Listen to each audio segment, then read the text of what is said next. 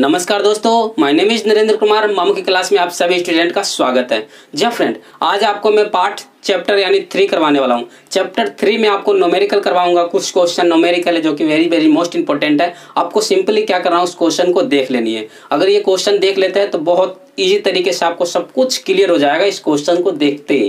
क्योंकि मैं बहुत ही अच्छे तरीके से करवाता हूँ सारी क्वेश्चन आपको स्टेप बाय स्टेप सारी क्वेश्चन को देख लेनी है और अपने नोट नोट कॉपी में आपको इसको क्या करनी है, उतार लेनी है। ताकि आप कभी भी परीक्षा से पहले इसको बार बार देख करके तैयारी कर सकते हैं फ्रेंड तो चलिए मैं अपने बोर्ड पर ले चलता हूँ आपको स्टेप बाय स्टेप सब कुछ दिखा देता हूँ। उससे पहले अगर वीडियो में नए हो तो वीडियो को जल्दी से सब्सक्राइब कर लेना। देन बेलाइकन को भी प्रेस कर लेना, जिससे कि क्या है कि आने वाला वीडियो का नोटिफिकेशन आप लोगों के पास मिलती रहेगा फ्रेंड तो चलिए वीडियो को स्टार्ट करते हैं। तो देखिए, मैं इस क्वेश्चन को लिख लिया हूँ। सबसे पहले मैंने यहाँ पर आपको दिखा देना है, जैसे आंकिक प्रश्न यानी नोमेरिकल्स नोमेरिकल्स यानी आंकिक प्रश्न, बहुत सारे ऐसे क्वेश्चन इसमें, जो कि आपको वेरी वेरी मोस्ट इंपॉर्टेंट है, जो कि बोर्ड के पेपर में आता है।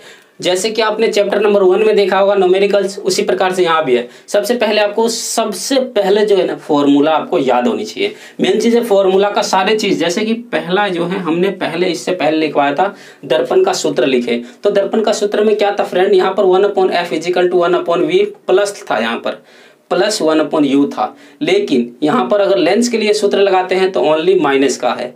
मैंने उस वाले चैप्टर में, यानी चैप्टर वन में भी मैंने बताया था और इसमें भी बता रहा हूँ और एकदम बढ़िया तरीके से समझा भी रहा हूँ। देखिए, लेंस की क्षमता का सूत्र लिखिए। लेंस की क्षमता का सूत्र होता है P equal to one upon F metre में या सेंटीमीटर में बदल सकते हैं। तो सबसे पहले हमें क्या करना है? यहाँ पर देखिए, मैंने क्वेश्चन नंबर वन लिख लिया है। क्वेश्चन नंबर वन में क्या है?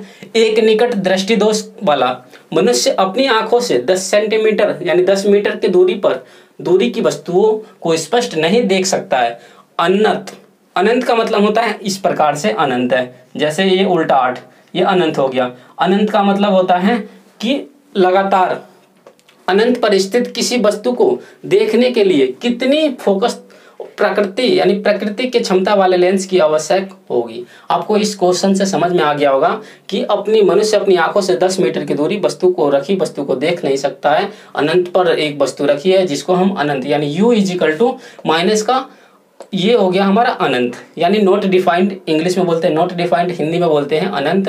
और देखिए, v इजिकल टू माइनस का दस सेंटीमीटर अगर हम किसी दूर वस्तु को देखते हैं, दूर वस्तु है तो ये हो गया दस मीटर दस मीटर को हमें क्या करना है? सेंटीमीटर में बदलना है। तो क्या करेंगे? यहाँ पर भाग दे देनी है। तो यानी ये हो जाएगा माइनस का हज़ार सेंटीमीटर तो आपको क्या करना है? या तो मीटर में चेंज करके रख लीजिए, या सेंटीमीटर में किसी में भी चेंज कर सकते हैं। तो सिंपली मैं क्या करूँगा? फॉर्मूला लिख दूँगा ये वाला। ये वाला फॉर्मूला जो है, यहाँ पर पुट कर देते हैं। तो मैं फॉर्मूला न लिख करके डायरेक्ट इसका मान लिखता हूँ। देखिए one upon F equal to क्या चीज़ है? यहाँ देखिए वन अपॉन वी वी का मान कितना है? तो वन अपॉन आप लिख सकते हैं या तो ये लिख दीजिए अदरवाइज़ नहीं तो ये लिख दीजिए। तो मैं क्या करूँगा? मीटर में लिख लिख लेता हूँ इसको तो माइनस का दस मीटर। इजिकल टू माइनस का माइनस का क्या लिखा है? फॉर्मूला के अनुसार अनंत है। माइनस का अनंत लिख देंगे। अब इसके बाद देखिए, आपको क्या करना है? सिंपली इन दोनों में बहुत इजी है, क्योंकि मैंने फॉर्मूला के अनुसार सारे कुछ यहाँ पर पुट कर दिया है, यानी लिख लिया है।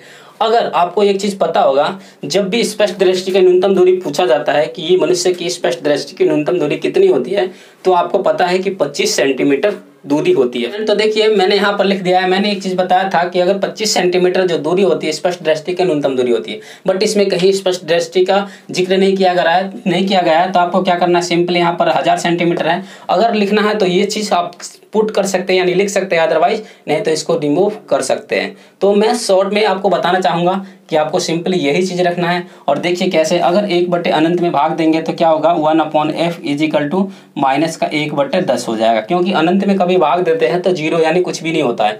तो ये हो गया माइनस का दस सेंटीमीटर आपको क्या करना एफ़ इजिकल टू कितना हो जाएगा फिर? उल्टा देना है, यानी माइनस का दस मीटर हो जाएगा। मीटर में है ना तो मीटर ही लिखेंगे यहाँ पर। यानी एफ़ का मान कितना आ गया हमारे पास? माइनस का दस मीटर। अब इसके बाद क्या करना है? लेंस की क्षमता का सूत्र लिखना है। यानी यहाँ पर दिया हुआ है ना फोकस दूरी। फोकस दूरी प्रकृति व क्षमता वाले। लेंस की आवश्यकता होगी। यानी क्षमता। लेंस की क्षमता क्या? फॉर्मूला क्या होता है? आपको पता है कि पी इजिकल टू क्या होता है? One upon F metre metre में होता है। जैसे कि मैंने यहाँ पर लिख लिया है, ये भी फॉर्मूला आपको बढ़िया तरीके से याद होनी चाहिए। आपको क्या करना है? P इजिकल टू क्या हो जाएगा? वन अपॉन एफ़ का मान यहाँ पर देख लेनी है माइनस का दस मीटर। तो दस मीटर हो गया। तो इसके बाद क्या करनी है? जैसे कि दस मीटर हो गया। तो आप इसको जो है एक में दस से भाग दे देना है, नहीं तो यहाँ पर इसको छोड़ सकते हैं वन अपॉन एक बट्टे माइनस का दस डायोप्टर। इस प्रकार छोड़ सकते हैं, इसको यहीं पर आंसर जी फ्रेंड ये कंप्लीटली ये क्वेश्चन हमारा हो चुका है। चलिए नेक्स्ट क्वेश्चन की ओर चलते और आपको इसी प्रकार से दिखा देता हूँ। वो भी question very very most important question होगा। जब फ्रेंड तो देख लीजिए, यहाँ पर मैंने क्वेश्चन लिख लिया है question number two question number two में मैंने इसी प्रकार से लिखा है क्वेश्चन जो कि आपने पढ़ा था निकट दृष्टि दोष किसे कहते हैं और दूर दृष्टि दोष किसे कहते हैं। उसी प्रकार से इसमें जो है आपके पास एक नोमेरिकल आ जाता है, इसी प्रकार से। तो आपको किस प्रकार से हल करना है? आपको मैंने भी फॉर्मूला लिख के दिखाया था कि लेंस का सूत्र कौन सा होता है और दर्पण के लिए सूत्र कौन सा होता है। तो आपको सिंपली क्या करना है, देखिए। एक निकट दृष्टि दोष वाला व्यक्ति पंद्रह सेंटीमीटर दूरी स्थित पुस्तक को स्पष्ट पढ़ सकता है। मान लीजिए, एक निकट दृष्टि दोष वाला व्यक्ति है जो कि पंद्रह सेंटीमीटर दूर उसकी एक पुस्तक रखी हुई है, जो कि वो स्पष्ट देख सकता है। और पुस्तक को पच्चीस सेंटीमीटर दूर रखकर पढ़ने के लिए उसे कैसे और कितनी फोकस दूरी का लेंस वाले चश्मे का प्रयुक्त करना पड़ेगा? यानी आपने जब भी जितने भी डॉक्टर होते हैं आँख की जो इलाज करते हैं, उसको कैसे पता चलेगा कि इस व्यक्ति को इस वाले पावर का चश्मा चाहिए? तो इसी प्रकार से मैं आपको बता देता हूँ कि आज आप आराम से डॉक्टर बन सकते हैं और इस सवाल को हल कर सकते हैं। तो आपको क्या करना है? सिंपली देखिए u इजिकल टू माइनस का 25 सेंटीमीटर अगर पुस्तक के लिए कह रहा है, पुस्तक 25 सेंटीमीटर दूर रखी गई है तो माइनस का 25 सेंटीमीटर लिखना है। लेकिन एक चीज़ और मैं आपको बता दूँ, यहाँ पर लिखा हुआ है लेंस अपने चश्मे में प्रयुक्त करता है, जैसे निकट दृष्टि दोष। निकट दृष्टि दोष कौन सा दोष होता है? इसमें कौन सी चश्मा का प्रयोग किया जा सकता है, आपको पता होना चाहिए। अगर दूर दृष्टि दोष हो गया निकट दृष्टि दोष हो गया तो आपको इसमें पता होना चाहिए। अगर जैसे कि अवतल लेंस के चश्मों का प्रयोग किया जा सकता है तो यहाँ पर माइनस का लिखेंगे। तो v इजिकल टू माइनस का, यहाँ देखिए, u इजिकल टू माइनस का 25 सेंटीमीटर और v इजिकल टू माइनस का 15 सेंटीमीटर इसके बाद क्या करना है? फोकस दूरी का लेंस और चश्मे का प्रयुक्त करना होगा। तो आपको सिंपली फॉर्मूला लिख देना है। यहाँ पर क्या ज्ञात करना है हमें? एफ़ फोकस दूरी निकालना है। तो सिंपली हमें पता है फॉर्मूला यहाँ पर लिख देते हैं ऊपर थोड़ा सा ताकि हमारा सवाल पूरा आ जाएगा इसमें। एफ़ इजिकल टू हमें मान निकालना है एफ़ का मान। तो फॉर्मूला में आपको मैं बता देता हूँ one upon F equal to direct मैं यहाँ पर लिख लेता हूँ वन अपॉन वी होता है। तो माइनस का पंद्रह हो गया माइनस इसके बाद वन अपॉन माइनस का पच्चीस। सेंटीमीटर में है, ये भी सेंटीमीटर में है और वो भी सेंटीमीटर में, दोनों सेंटीमीटर में ही है। तो हमारा आंसर किसमें आएगा? सेंटीमीटर में ही आएगा। तो आपको सिंपली क्या करना है? One upon F equal to पंद्रह और पच्चीस, दोनों का क्या करना है? एल्शियम लेना है। तो एक बार और लिख लेते हैं यहाँ पर, वन अपॉन माइनस पंद्रह, minus minus plus one upon पच्चीस। ये पच्चीस हो गया। जैसे ये पच्चीस हुआ, इन दोनों का एल्शियम ले लेते हैं, यानी पंद्रह और पच्चीस का एल्शियम लेंगे तो बड़े आराम से इसको सॉल्व आराम से कर सकते हैं। तो देखिए मैं आपको सब कुछ यहाँ पर दिखा देता हूँ। देखिए फ्रेंड, आपको क्या करना है यहाँ पर? जैसे पंद्रह और पच्चीस का है तो इन दोनों का यहाँ पर पंद्रह या पच्चीस मल्टीप्लाई यहीं से कर देते हैं। पंद्रह और पच्चीस का मल्टीप्लाई कर दीजिए, पंद्रह पच्चीस पचहत्तर, हासिल सेवन और पंद्रह दो तीस और सात। तीस और सात कितना हो जाएगा हमारे पास? अगर मल्टीप्लाई करते हैं तो कुछ और आ जाता है। इसलिए हम इन दोनों को क्या करेंगे? एल्शियम निकाल लेते हैं। क्योंकि एल्शियम निकालने में बहुत ईजी हो जाता है। जैसे कि देखिए, पंद्रह था और पच्चीस का एल्शियम निकाल दीजिए किससे? पाँच से। तो पाँच थिया पंद्रह और पाँच पूरे पच्चीस तो देखिए, पाँच पूरे पच्चीस थिया पचहत्तर। अगर इसको हम इस प्रकार से निकालते हैं, पाँच तिया पंद्रह और पाँच पूरे पच्चीस, एक बार और काट दीजिए। तीन से कटेगा, पाँच से कटेगा। तो टोटल कितना हो जाएगा? पाँच तिया पंद्रह पंद्रह पचे पचहत्तर। तो इसका एल्शियम अगर लेंगे तो कितने होंगे? पचहत्तर। One upon F is equal to कितना हो गया? Seventy five. सेवेंटी फाइव इसका पचहत्तर माइनस का, या माइनस छोड़ दीजिए। इसके बाद पचहत्तर को पंद्रह से भाग देना है। पंद्रह पचे पचहत्तर। फ्रेंड तो देखिए यहाँ पर आपको क्या करना है? सिंपली पंद्रह पंद्रह, यहाँ पर हमने पचहत्तर लिख लिया, दोनों का एल्शियम लेकर के। तो आपको पता है पचहत्तर आ रहा है, पचहत्तर आने के बाद पंद्रह से भाग देनी है। पचहत्तर में तब पंद्रह पचे पचहत्तर। यहाँ पाँच लिख लेनी है। इसके बाद पच्चीस पे, पच्चीस या पचहत्तर तो यहाँ प्लस लगा हुआ है तो प्लस और पच्चीस या पचहत्तर। आपको सिंपली क्या करना है? इसीलिए one upon F equal to इसमें देखिए, पाँच में से तीन गया तो कितना बचा? माइनस का दो बट्टे पचहत्तर।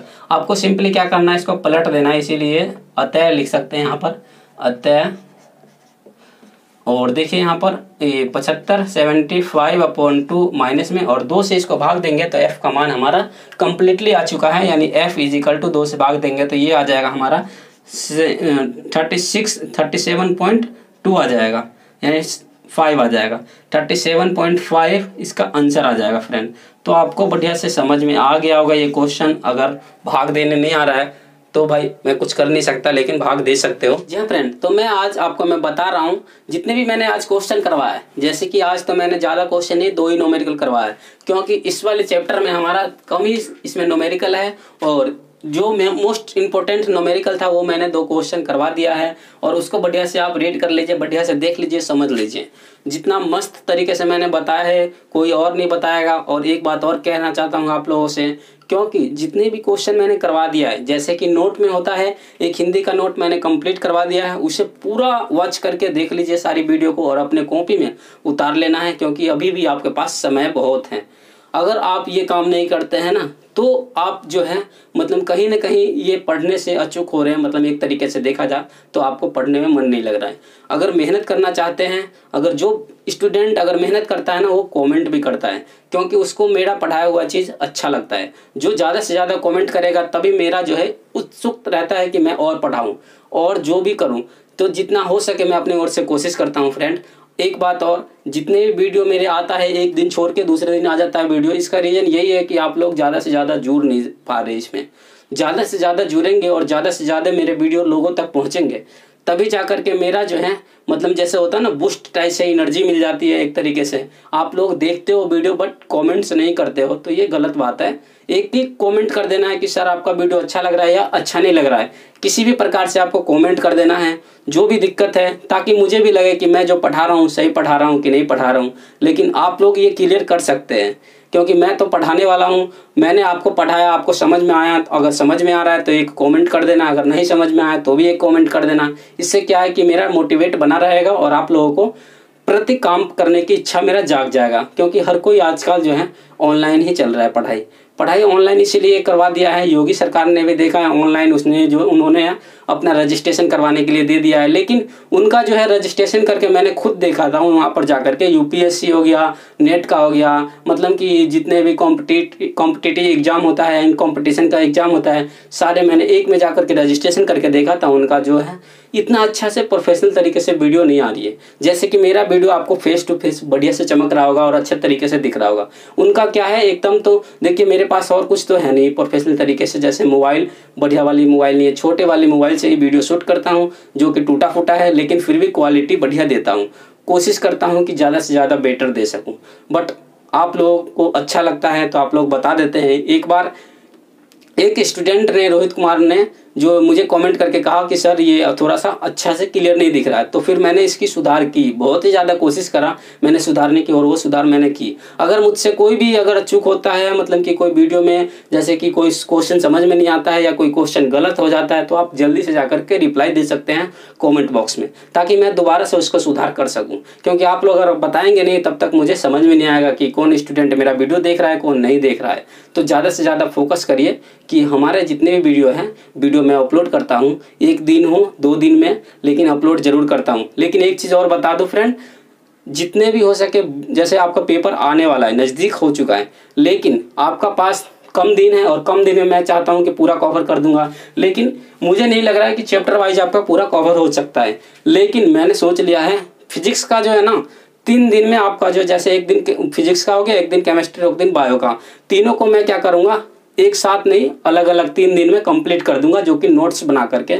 आपको एक दिन में नहीं, एक दिन में एक नोट्स कंप्लीट करूँगा, जो कि वेरी वेरी मोस्ट इंपॉर्टेंट रहेगा और आपको वही क्वेश्चन आपको देख लेनी है। उस दिन तो लॉन्ग वीडियो हो जाएगा बट आपको देखनी पड़ेगी, क्योंकि बहुत अच्छे तरीके से मैंने उस नोट को बना रखा है। बस आप लोगों तक पहुँचानी है वो वीडियो जैसे वो वीडियो बन जाता है, बनने के बाद आप लोगों को मैं यहाँ पर यूट्यूब पर अपलोड कर दूँगा। अपलोड करने के बाद आप लोगों के पास पहुँच जाएगा और उससे आपको क्या करना है पूरा पूरा देख लेना है, क्योंकि उसके उससे और कहीं से आने वाला नहीं है पेपर में, क्योंकि मैंने बहुत ज़्यादा एनालिसिस करके उस मतलब क्वेश्चन को ढूंढ करके, तब उसको मैंने सब चीज़ रिसर्च करा है एनालिस्टिक या मतलब बहुत ज़्यादा उस पर फोर्स करा है, तब जा करके उस क्वेश्चन को मैंने लिखा है और उस क्वेश्चन को मैं कम से कम या चार पाँच दिन में देने वाला हूँ फ्रेंड तो आप लोग बेफिक्र रहे, कोई भी सब, कोई भी आपको डाउट होता है, आप मुझसे पूछ सकते हैं डायरेक्ट नहीं तो आप जा करके टेलीग्राम पर जुड़ सकते हैं, मामू की क्लास है। वहाँ पर सिर्फ़ लिखना है, टेलीग्राम पर जाकर सर्च कर देना है, मामू की क्लास। वहाँ पर जाकर मुझसे बातें कर सकते हैं, कुछ भी डाउट है या पीडीएफ वगैरह चाहिए तो आप एक बार कमेंट तो करके देखो।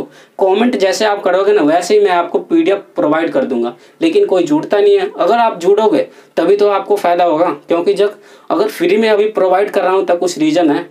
क्योंकि प्रोवाइड इसलिए कर रहा हूँ, क्योंकि मुझे भी ये है कि हाँ हमारे पढ़ाए हुए स्टूडेंट ताकि दूर दूर तक हमें भी पहचाने, हमारे भी नाम से जाने। इसलिए मैं वीडियो अपलोड करता हूँ जो कि ऑनलाइन है। आप लोगों को बिल्कुल भी वीडियो को स्किप नहीं करना है। कभी भी जब मैं वीडियो बनाता हूँ, शुरू से लेकर लास्ट तक वॉच करनी है। वॉच करने से ये होता है फ्रेंड मेरा मोटिवेट बना रहेगा और आप लोगों को प्रति, यानी कि प्यार बना रहेगा। तो बस इतना ही। आज की वीडियो मैं यही समाप्त करता हूँ। अगले, फिर कल नेक्स्ट चैप्टर के साथ मिलते हैं। और उसके बाद, नहीं तो नोट्स बनाना स्टार्ट कर दूँगा। दो चार दिन में ही नोट्स बनाना स्टार्ट करूँगा, तब बेफिक्र रहिए, कोई दिक्कत नहीं है। तो चलिए दोस्तों, इसी के साथ मैं वीडियो को समाप्त करता हूँ। अगर वीडियो अच्छा लगा तो वीडियो को एक लाइक और एक सब्सक्राइब कर देना देन बेल आइकन को भी प्रेस कर देना, जिससे कि क्या है कि आने वाला वीडियो का नोटिफिकेशन आप लोगों के पास जल्दी जल्दी जाती रहे। जय फ्रेंड तो जय हिंद, जय भारत, वंदे मातरम।